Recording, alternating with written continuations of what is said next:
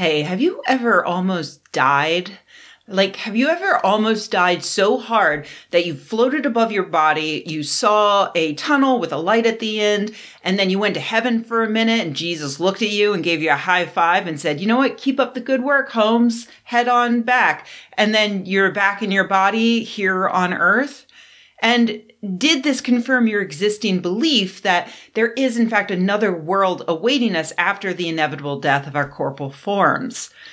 Well, that was actually just your oxygen starved brain desperately firing neurons and flooding your body with endorphins in an attempt to keep you alive. And sadly, there is no heaven or hell, and when we die, we're all just going to rot in the ground. Okay, just kidding. I don't know any of that. No one knows. But I have essentially just covered both sides of the near death experience debate. You can honestly just skip the rest of this video if you want. There's no other real scientific evidence to suggest that a near death experience or NDE is anything other than your desperate brain trying to keep you alive. On the one side, we have people who have had a life changing psychedelic trip and on the other side, we have scientists who point out that there is no evidence that anything was happening outside of their own brain.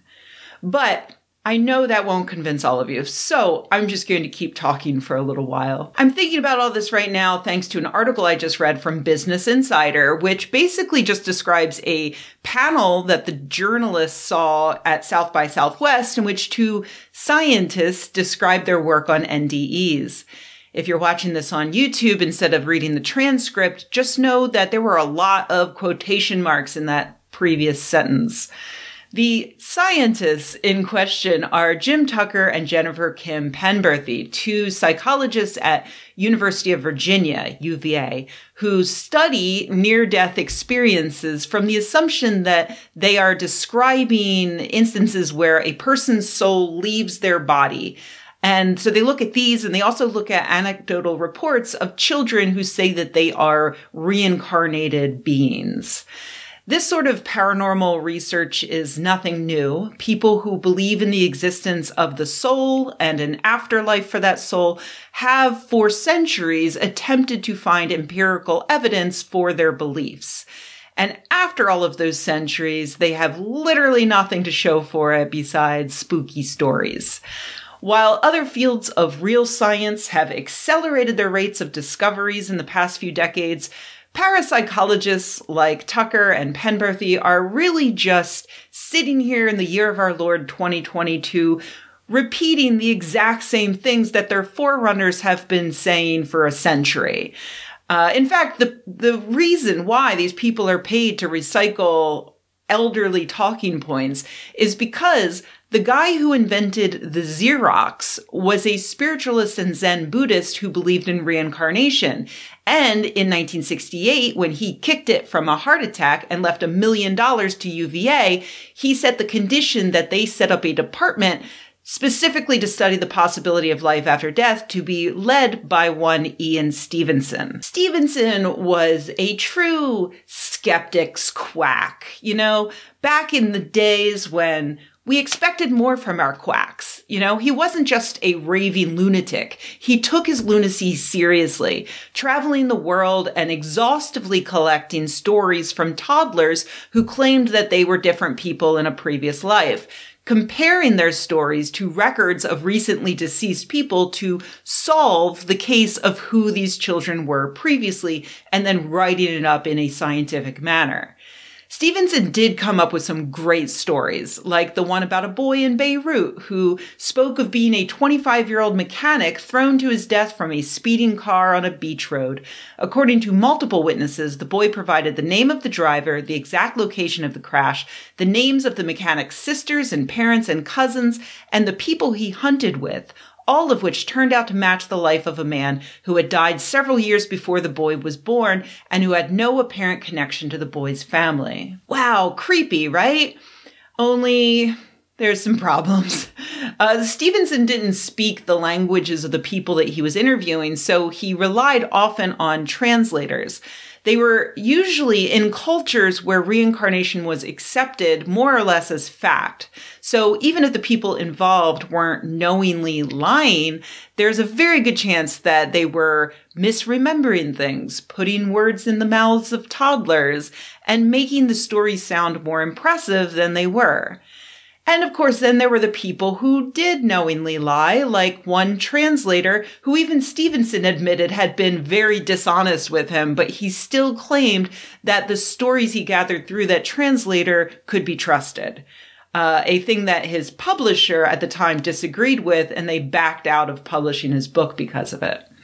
There isn't a single story Stevenson gathered that can't be better explained as some mix of coincidence, exaggeration, and or outright fraud on the part of the subjects or the translators, if not Stevenson himself. But there are plenty of really uncomfortable, ableist, and homophobic consequences of Stevenson's beliefs. Um, for instance, if a little girl told a story about how she used to be a boy and now she refuses to wear traditionally girly clothes and only answers to the name Richard, uh, Stevenson assumed that that's because that little girl used to be a man in a previous life named Richard. If a child had a disfigured face, he assumed that that was because in a previous life he was a man who had shot himself in the face. According to Stevenson, any disease, disorder, or quirk of personality could be explained by a violent end in a past life. That's really gross. Really gross. Like, imagine hand waving away serious birth defects as the inevitable result of a past life and not a disorder based on genetics or environment that we can prevent or alleviate. Imagine a kid rejecting the gender they were assigned at birth and using past life hypnosis or something to fix it. Gross. So now we come to Stevenson's proteges, Tucker and Penberthy, who are doing the exact same thing in their research, uncritically accepting stories of children who claim to be reincarnated from past lives. They also talk about near death experiences as further proof of an afterlife. And again, there's just nothing new under the sun. People say they floated above their bodies in an operating room and heard every conversation the doctors and nurses had. There are uh, some frequently experienced details across these NDEs, like the old light at the end of the tunnel. Uh, they all like to talk to their dead relatives. All of this is taken as confirmation that NDs are really the soul leaving the body. And all of it is old news. Um, it's all been previously explained using non paranormal explanations. Like studies show that people who float above their bodies and see everything that is happening are unable to identify a playing card left in plain sight or an image on a computer that's displayed in the room. People on anesthesia who are in no way near death report similar things like being able to hear what is being said in the room while under anesthesia.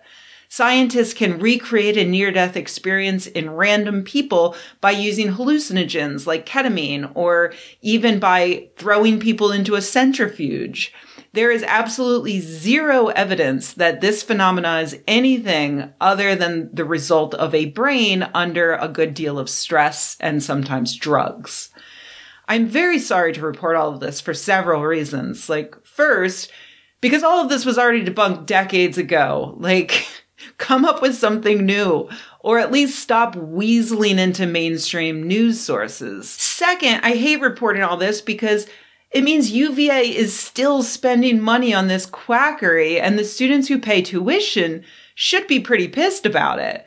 Like, I'm sure even the school's founder, Thomas Jefferson, would be really pissed about it. Maybe he's been reincarnated as a student who can, you know, lodge a formal complaint. And third, I hate reporting on this because I really do wish that there was life after death. It, would be great if death wasn't just the end, but instead a transition to a new, better world where I can join my loved ones and we can all hang out in paradise and laugh at the people we hate being tortured in hell for all of eternity. Like that sounds super fun. I mean, until I think a little too long and hard about what tortured for all of eternity means and whether or not anyone really deserves that. And yeah, even in the case of reincarnation, it would be really great if, uh, you know, I knew that I would get another go round to try again. You know, think of all the mistakes I would fix. Like, I definitely would not try to eat an entire bag of Pixy Stix in one afternoon only to barf up a rainbow of sugar again. Last weekend was rough. But as much as I want there to be something after death, unfortunately, there's just no evidence for it. And for that reason, I have to reject it. Ah, the life of a skeptic. It's not always fun.